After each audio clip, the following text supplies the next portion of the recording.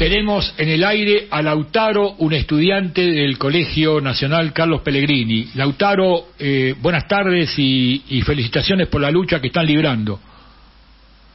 Hola, ¿qué tal? ¿Todo bien? Eh, más o menos, eh, tratamos, de tratamos de que vaya todo bien, acá por lo menos en el programa. Sí, bueno, estamos en, en plena lucha acá, el movimiento estudiantil.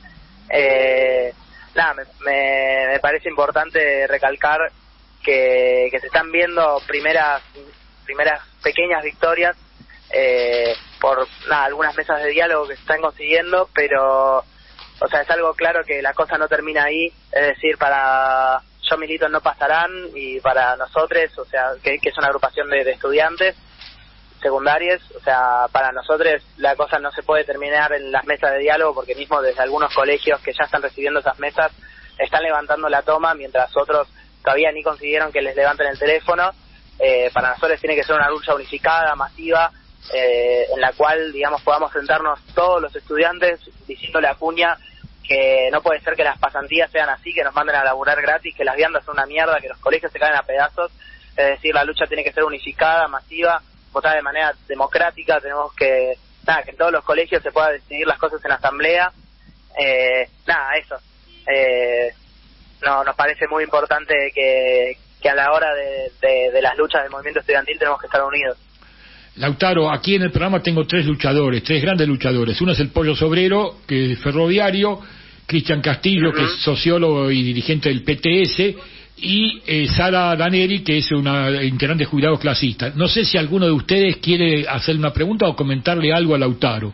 No, solo darle el apoyo a Cristian Castillo, darle el apoyo a la lucha y, y que no se dejen amedrentar por la campaña desde los medios de comunicación y todo, que es muy positivo toda esta movilización de una nueva generación que, que está haciendo esta experiencia de lucha y de organización.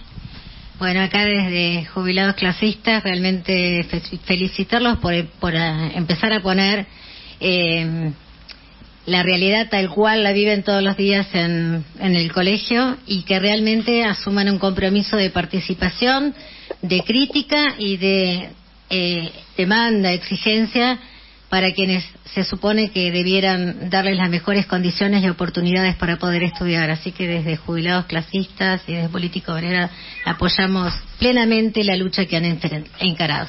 No, y yo cortito el pollo. Pollo, pollo ferroviario. Felicitarlo a los compañeros y decirle algo. La lucha también es un aprendizaje. Es un aprendizaje de vida Así que ellos lo que están haciendo es enseñando. Y enseñando a muchos gorilas cómo se defiende la escuela pública, ¿no? Yo los veía ayer con los pelos parados. Así que muchachos, están, si los gorilas están re locos, es porque están haciendo las cosas bien.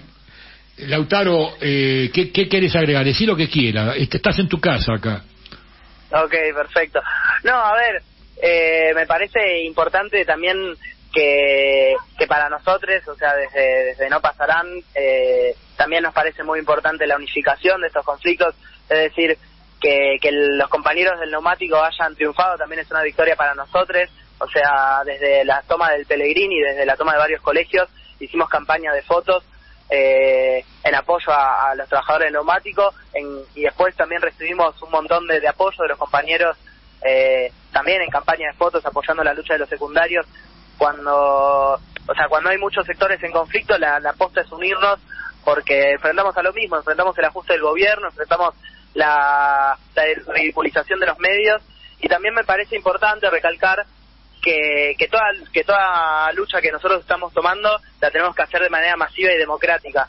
La coordinadora de estudiantes de base tiene que poder bajar las discusiones. La coordinadora de estudiantes de base es donde se coordinan varios colegios de la capital eh, y, y tenemos que mantener los métodos democráticos para que, nada, que, tomar las decisiones en la asamblea y que cada pibe que discuta eh, qué medida de lucha quiere tomar, por qué quiere tomar esa medida de lucha y que las reuniones de hacer tienen que estar copadas de pibes, tienen que, nada, se tienen que poder dar las discusiones y tenemos que poder tomar esta lucha de manera unificada porque para que el conflicto, para que el conflicto triunfe tenemos que estar unidos eh, y nada, también teniendo el norte de la lucha, que no solo contra el gobierno de la ciudad, porque si la educación está siendo pisoteada es también porque desde Nación está siendo pisoteada.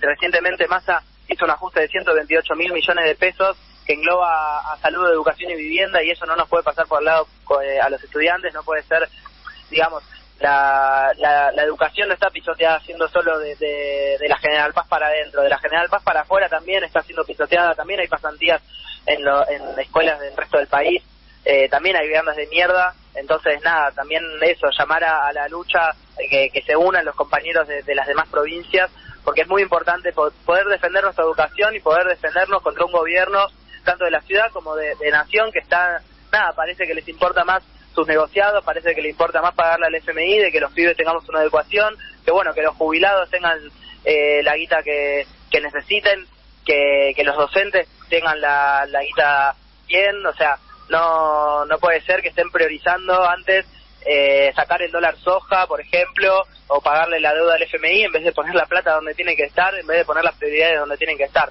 Así que nada, eso. Eh, me parece muy importante recalcar que, la lucha tiene que ser masiva y tiene que ser tomada de manera democrática en asamblea por todos los estudiantes. Bueno, yo te, felicito en nombre de los que estamos acá y vamos a hacer algo que hacíamos cuando, cuando teníamos el programa Radio Ciudad y había una multitud. Vamos a aplaudirte porque vos lo mereces y, lo merece la lucha de los estudiantes. Muy bien, compañero. Muy bien. Muy bien. Muchas gracias. No sé si querés agregar algo. Nada, eso. Muchas gracias por el espacio y y que seguimos en, en pleno pie de cañón porque la verdad es que están siendo súper maniobreros como siempre lo son de tanto del gobierno de la ciudad y que el gobierno de nación no hace nada más que el silencio y que estar ajustando. Bueno, Lautaro, muchas gracias y felicitaciones de nuevo para vos y, y todos tus compañeros. Dale, muchas gracias a ustedes por el espacio.